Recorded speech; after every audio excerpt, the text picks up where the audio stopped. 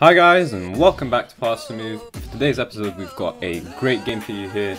Uh, the Braga versus Benfica in the um, the competitions, one of the Portuguese competitions. So this is actually the start of a new series. It's the uh, where is it? The Super Super Taka, I guess. If I'm saying that right, someone correct me. I'm probably saying it wrong. Super Tasa. Either way, uh, yeah, we've got that game for you and. Um, yeah, it's start of a new series. So basically what we'll be doing is we're, we're going to be in Portugal. Uh, we are actually with Braga and not with Benfica. And um, it's just interesting. I want to give you a little bit of an intro to the Portuguese league and you know the team, why we chose it, what's going to be going on, what our aims are, and all of that. And then we can get into that game. So it's a you know an opportunity for us to win a competition straight away uh, win a trophy. It would be a great start. Uh, the board don't consider it as important, so if we lose, it's not a big deal. But it's obviously a better way to start. So, as you can see, uh, we are qualified. Where is it for the Euros? So uh, we are playing in uh, the Europa League, uh, not the Euros. That would be you know national teams. But anyways, um, yeah. So Braga are an interesting club. So first of all, I'm pretty sure a lot of you know Braga. Uh, you know, you must have heard the name at least. You might not know the team so much. Uh, but yeah, basically in, in, in, in Portugal, there's what they call the three big the big three teams in Portugal. So they always mention them. I'm sure you heard of them all: Sporting, Benfica, and FC Porto. So these teams are incredible. They've always battled back and forth for it. Not so much Sporting, I suppose. I think it's been between uh, Porto and uh, Benfica a little bit more. I think Benfica are the ones who are holding the most titles, 35 Portuguese Premier League titles. Obviously, as well, have won the European Champions League as well. Um, but yeah, it's just it's just pretty interesting because these three have always challenged with each other. It's been, you know, Portugal pretty much uh, in this league. They ju they just always battle it out. You know, it's always between them three. It's not really between anyone else. It's just 18 teams. Uh, it used to be a little bit less before, but you know, the, they always uh, get more people involved, more teams involved. So Braga are just one of those teams who have always just about been there and abouts in their history. As you can see, they've been kind of up and down. Um, they qualified back-to-back -back Europa League performances. I think they even got to the final at one point. But as you can see, not a single Portuguese league win. The you know the Portuguese league, Portuguese Premier League. They've uh, they've won the second league division three times, and you know they, they have some decent cups here, but nothing major. They haven't won the Europa League, they haven't won the Premier League, they haven't won the Champions League or anything like that. So they're fresh for history. Uh, it's also interesting, I think, that they made it to the final of the Europa League at one point, if I'm not mistaken. Um, but yeah, you never actually won anything. But they, this finances are kind of okay, secure at least, if not rich or anything. But you know, if we push forward in the Europa League uh, and meet expectations, which are where are we? Reach the second knockout round. Maybe if we move further than that, we can actually start performing. You know, get some decent money and possibly, you know, the aim is obviously to qualify for the Champions League. That's always the aim. Uh, but first of all, we've obviously got the we'll have to try and qualify for the Europa League at least. You know, that's the minimum. But um, so what's interesting about Euro, uh, Braga as well is that they have a kit, if you haven't noticed already, that's very similar to Arsenal. So they have a, quite a bit of history, Braga. Uh, decent history, but nothing, you know, they haven't really excelled, I suppose.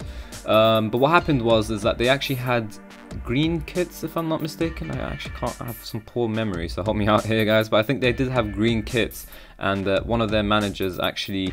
Um, it was a rumor that was either the manager or the board who decided that they, they loved Arsenal so much that they wanted to play in the same colours as them, so they changed their kits to red and white to represent Arsenal. I think their fans are called Arsenalitas or something as well. Um, so yeah, it's very interesting. So bearing that in mind, this is why we selected the tactics. So we'll go through it in just a second, but let's let's go through the squad quite quickly. Uh, so we've got Matheus, Carlos Marafona. We have a bunch of Portuguese talent basically, and uh, some Brazilian, you know, South American talent, and those always. And uh, we have the random Egyptian talent Hassan as well, the target man. Uh, but yeah, some decent players in the squad. Uh, obviously, we could do with a lot of improvement, but we don't necessarily have the money for it. We've got 1.6 million basically, and uh, you know nothing to really spend. Normally, I try and make make up the numbers first, so we did that initially. We got rid of some loanies that we didn't necessarily need. Uh, we sorted out the team, but obviously, the more money we have, the more we can invest and make better decisions for our players. So just for now, we're going to stick with our players, see how they perform in the first season, and then later on, we can actually start to try and invest in uh, different players and you know loanees and whatnot. A lot of big clubs don't mind loaning to Portuguese league because obviously it is a big league. Don't know if I can show you where it was. Um, hmm. There you go. Yeah, we're fifth in the in, in Europe at least, so it's it's not bad at all. We're ahead of France, so you know, and even Holland, who are you know have a higher reputation reputation. So we should give Port the Portuguese league the respect it deserves. Uh, so what I heard is that a lot of these teams actually don't get a lot of uh, fans, I suppose. Not a lot of turnout. You won't make a lot of money from matchday tickets. Uh, mainly fans go for uh, Porto, Benfica, or Sporting. So if you're anyone else, you don't really make much money in that sense. So that's exactly why we have to perform even better. Um, and uh, yeah, so th th this is a squad. You'll get to learn them more as we go on. I don't really want to go through name by name. You'll know them the more we play, basically. And the, in terms of friendlies, we had six. I did a little three-game tour as well as a three-game home uh, games just to give the fans a little bit, and obviously for us to make some money too at the same time. So we only lost the first game. All the other games we performed quite well, and uh, I would expect us to continue that form in the league. Uh, so competition expectations, I'm sure you realized already, but we qualified for the Euros, uh, reached second knockout for the Europa League uh, in the Taça de Portugal, one of the cup competitions. Of course, they expect us to reach a sixth round as well, and the, the game that we're going to play today is not important to the, the board. So in Portugal, you've got their under 19s and you've got Braga B, who are in the Portuguese second league. Now I heard, I'm not entirely sure, but I heard that they actually won last year's edition, or maybe is it this year? I think it's this year. Uh, but they can't can't qualify for the first division because obviously Braga themselves are there, so they you know kind of lose out on that spot. But basically, they always have to remain in the second league unless they re get relegated. But either way, Braga B are in the second league, so it's good for our uh, young talent to actually develop. We've moved one of our players to the Braga itself because they were good enough for the league and we needed the numbers. In terms of potential, there's a couple of nice little players here that we can actually develop for our team. Gamboa is one of the highest rated ones by our staff anyways. In terms of under 19s though, let me show everyone, I've kind of got it highlighted here. Uh, a lot of nice talent here. So the, the reason why we're going in Portugal is actually because, um, well, P Portugal is very a very interesting country. So I'm not sure if any of you uh, uh, any of you guys have realized, but for me anyways, my experience is whenever I play on the international stage, Portugal are always up there. They won the Euros in the real in real life, but all you know, when I played, if you've watched my England save, they won the World Cup as well. They performed really well in the Euros, and I played countless other international you know teams, and it's always Portugal who are the ones who perform really well. So it's interesting. They got a lot of young talent. Uh, they're really making the step up to becoming a super nation, if you want to call it that and it'll be interesting to help them on their way as we improve Braga at the same time. So we want Braga to be one of the top clubs in Portugal uh, they kind of are there and thereabouts, but we really want to break that barrier and push up into you know becoming serial Premier League winners and hopefully com competing in a uh, Champions League as well. Uh, in terms of tactics, we're going to be trying and playing, uh, trying and playing, trying to play an Arsenal type of tactic, which is kind of a Barcelona tactic, I suppose. Uh, but yeah, we're going to be going for possession based, so we've got counter, we've got control and overload if necessary. Um, it's just basically the same tactic, but just pushing some of the players onwards. Uh, so we've got a false nine in Stojilovic. Um, and we've got uh, inside forwards as Santos and Eduardo as well. Fonte as an advanced playmaker, Vukicevic uh, as a ball-winning midfielder. We've got an anchorman and Mora. Wing backs to support the inside forwards. It's perfect for it. We want to play a ball, ball playing defender as well. To, you know, really get things going from defense uh, and uh, just a regular central defender to complement him. So this is the team that we're actually going to go for today, but in terms of instructions, we're going to keep a nice structured team shape.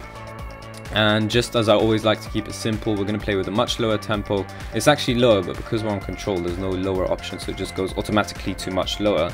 Uh, shorter passing, be more expressive, and run from position. So with the roles that we have, as well as the instructions, we should be, uh, and the formation of course, we should be um, maintaining a decent amount of possession. So Fonte is actually an advanced playmaker or possibly even a striker, but we've got players in the striker department and we don't need an advanced playmaker who's playing an attacking midfield. We actually need them to drop as an advanced playmaker into midfield and actually should help him as he ages. He's still 26 of course, but when he does age, uh, it will be great, you know, he'll already be suited to that position. Uh, and so that's the tactics we're going for, just a standard 4-3-3. Hopefully that uh, eventually as we build our team more and more, we'll get players who are more and more suited to that role. Uh, in terms of staff, we really pushed up the levels, we improved our scouting staff, now we're the best in the league, so that's great to see, I actually didn't notice that before. Uh, in the coaching staff though, uh, it's not the greatest, but you know we're limited in terms of numbers. We we did improve in that regard as well as the physios. Uh, we've basically just stuck to everything that's advised and signed, filled it up basically. Uh, in terms of the scouting, there's no restrictions, which is perfect. I've got the scouts set up everywhere that really matters, I suppose. I guess that's kind of insulting, but at the same time, uh, you know, I have to try and stick to the, the countries that are closest to Portugal, who are obviously European. So we've scouted all of Europe, North America, South America, and I think we've even gone a little bit no, we didn't go into Africa at all. So what we did is we also scouted the main competitions, the Euros, the Champions League, the European Europa League, and the Champions League. Sorry, I keep calling it Euros because I've been playing the Euros so much with England in my last save. Um, but yeah, we are also scouting the Premier League as well. So just the main competitions uh, and the main continents that need to be scouted. Eventually, when we can get more scouts, we will scout the rest of the world as well. Because really, you never know where a regen will come from. You know, world-class regen anyways. Uh, transfers, they've got some transfers in, coming in already without me. They're all coming in in January. The job offer, I think, is actually for Braga B. I've left my director of football to deal with that entirely. Hiring staff, buying, selling players, all of that business. I don't want to deal with that at all. Um, but yeah, we've got Diego Sosa coming in as a strike. I'm not sure why they bought him. We don't need him. And also this defensive midfielder, we also don't need him either. But either way, we have to deal with that. And uh, they only spent 850k in total. One of them's a free transfer, one of them's not. But both are coming in January, so it'll be interesting to see how we deal with it. Uh, how we deal with them. We'll probably just sell them on if possible, loan them out. I'm not really sure what to do with them if I'm honest. Um, but yeah, I think that pretty much shows it. So in terms of, let's see what else we can cover. Facilities. Um, the stadium's got 30k, we can probably improve on that later on though, not necessarily right now. We have to try and fill up the stadium first. It was built in 2003 of course. It's great that was owned by the club, uh, stadium conditions great, that's perfect. Um, let's see what else here. Corporate facilities, all the facilities in general could be improved, but we've got some decent facilities as is. Uh, some excellent junior coaching and youth established youth recruitment, but again, we can always improve on that too. So eventually, when we have the money, we'll ask the board for a bunch of that, bunch of those things. But yeah, we've got some interesting affiliates um, for loanees that we, you know, players to be loaned out, which is really great because some of these are actually in the same league as us, so it's perfect for us. Uh, in terms of history, I think I showed you that already. Hmm. Yeah, Europa League runner-up. There you go in 2011. Portuguese Premier League runner-up in 2010. That's the last time. So that's as close as we got in third place in 2012. So, you know, we really need to be more consistent and really perform a lot better, which is the aim. Uh, let's see, maybe some records.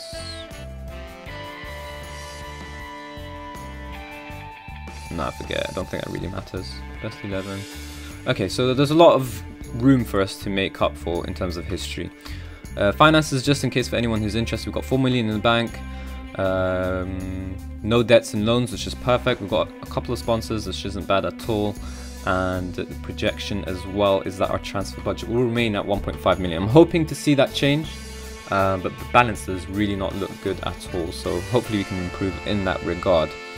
Um, but yeah, I think we can just finally kick off now. So it's really interesting to be playing in Portugal. They're not the highest league in the world according to some people, but they are definitely it's definitely an interesting league and it's definitely a very interesting team to play with and hopefully we can create some history here with Braga. One of those teams who I, I guess you could if you really want to compare the compare them to Premier League team, you would say maybe Everton who are really trying to break into the top teams in in, in, in the English league, of course, and we're trying to do something similar along the lines of that. Of course, we don't have as much money now as they do right now, um, but yeah, it's similar similar circumstances, I suppose. But yeah, I think we can finally kick off now, and that's a little bit of an intro to give you a little bit of background, just to create a sort of story for you guys, so that way when we can play this, you can, we can really get invested in in the history of the club and the club, and just really hope to win. So we can kick off now.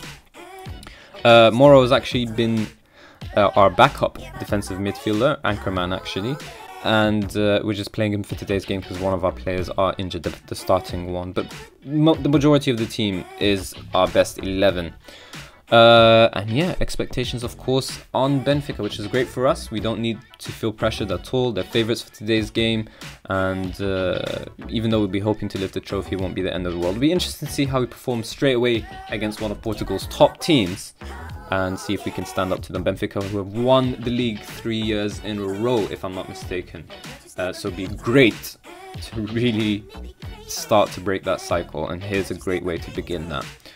So let's see what we can tell the boys.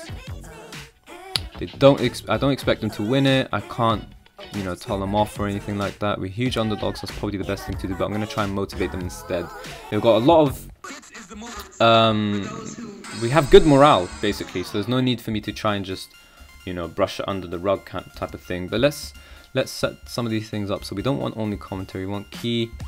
We want the highlights to be decent, not too slow, not too fast. We'll show you the replays as well. And I think that's it. So let's kick off. There you go. Braga against Benfica in a competition final. Finally, we get to see how we perform. So if we get any highlights, that is. But um, yeah, 25 minutes, nothing to show for it. Am I sure that I didn't stay off? Yeah, I did take off commentary. But we are dominating stats, that's great. And we are getting our first highlight here. Santos has got the ball for us. Rui Fonte, our advanced playmaker. Wilson, long range shot. Can he score? Ooh, that's a decent save from the goalkeeper. Bottom corner, almost got a goal. And uh, that would have been a great way to start in the first half. Now, we are playing on the counter. I know some of you might be wondering why we're doing that in the beginning. We are, of course, not the favorites for today's game. So I always start on counter and then build up to control and overload if necessary. And as you guys know, I kind of do that halfway through the game or, or so. But because we're not favorites, I'm going to stay on counter for as long as need be. And then uh, if we really need to push up into overload in the last five minutes or so to try and win the game, we can do that. Boys are playing a bit risky, but the goalkeeper doesn't, you know, he just deals with it and Santos can finally find our striker Strokovic and uh, maybe we can finally take down Braga. We do, we are kind of dominating midfield, but they are proving a little bit dangerous on the counter, I suppose. But we are, we've got a ton of possession, and the stats are in our favour. And now really it's about turning the screw in. Come on, false nine, can you find them anyone? Oh, long range shot that hits the crossbar instead. Not bad though. I'd say we had a decent start. I definitely had the better half, and I cannot tell my players off at half time whatsoever. So we'll actually encourage them and tell them, keep it up. I don't want to say I'm pleased with things because I don't want them to get too relaxed. So I'll just tell them to, you know, give them a bit of hope. We can come away with a result here. We can win. We are dominating Benfica. Is it Benfica or Benfica? Either way, we're dominating them. And hopefully that will continue in this half, but we can actually get the goals necessary to show that dominance. Just a single shot for for our opposition, because I don't want to say the word, don't want to say their name.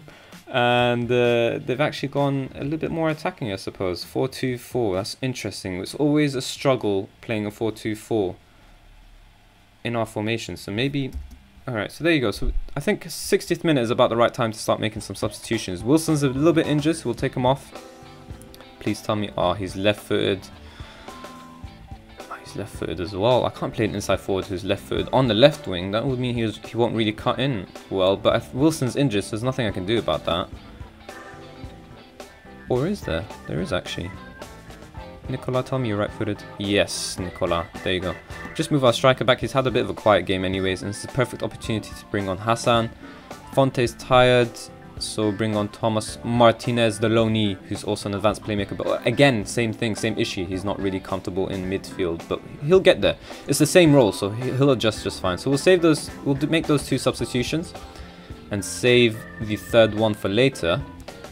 Hopefully, we won't need the third one to come on and rescue the game. Hopefully, these two will already rescue it for us.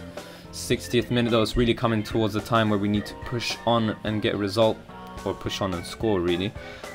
We deal with that initially well, and Martinez has a chance to start this counter, I suppose, but it's already six people back there. We can't counter with this type of formation. I think I'm going to have to push up soon. Santos coming in. Long range shot. Can he score? No, he can't. That was horrible. Way over the bar. But yeah, and now Stokovic is having a horrible game. I think... You know what, I'll just take him off. There's nothing else to do now, at this point. Getting, really getting there, boys. I don't want to go... I'm not sure if this is extra time or straight to penalties the way Community Shield is in England. Um, but really, either way, I just want to avoid it. I want to sneak by with one goal. Push up into control for this, you know, just for five minutes. And then push up into overload in the next five. Okay, nothing happened even though I was hoping. You know what, I'm just to stay. Oh, no, is this for us? Please score from the set piece. Yes, Morrow! And there you go, that's all we needed. So I think we'll go back into counter. We were doing well in that sense. And we just utterly dominated this game. We really should have been scoring an open play goal. But either way, 1-0. And there we go. We got our first, hopefully our first trophy of the season. We're going to get a nice little replay of it here. It's not a bad ball into the box at all. God knows, I mean, look at this. This was about five players here in the box doing nothing. And my players just gone all out as well. We had everyone back there. And for somehow, Mora was the one who rose highest. He was the defensive midfielder who I said was a backup. And maybe he's trying to make us reconsider. But either way, it looks like the referee will blow his whistle and the game will end 1-0. Not the most exciting of games, but a great start to our career here at Braga. And a trophy to relish either way. Trophy's a trophy in the end of the day, isn't it? So congrats to the lads. Well done on a good performance. And uh, I, have a, I found, I don't know how I've never seen this before, but there's a lovely feature that I would recommend for you guys. Uh, and it's, you know, you obviously got choices to pick on when you want the game to save every week, every fortnight, every month, six months. I don't know why that's an option, and even a yearly save, uh, I think. But um, I found the best one is actually to save right after every game. So I don't do that manually, of course. It's actually an option in your preferences. I would highly recommend it because if you save every week, I've actually had the problem where I've played a game, I've won the Premier League, and then it didn't save because it didn't hit the week yet, and my game just shut down. So if it saves right after the game, you're guaranteed to have that that save basically, and anything else that you do during the week, you, you don't mind losing that as long as it's been as long as the game itself has been saved, as long as the result has been saved, because that's what matters most, isn't it?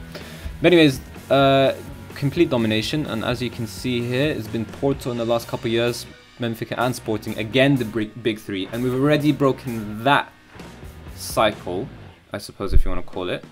Uh, so hopefully we can do the same with the Premier League. So I'm already a legend, which is a great start. And uh, hopefully, you know, long may that continue. So in terms of when we'll be back, uh, I don't think we'll show you the first game straight away from the get-go. Let's actually have a look at the club's rivals and see if there's anything interesting coming up. So there's, oh yeah, I forgot, these lot are huge rivals to them.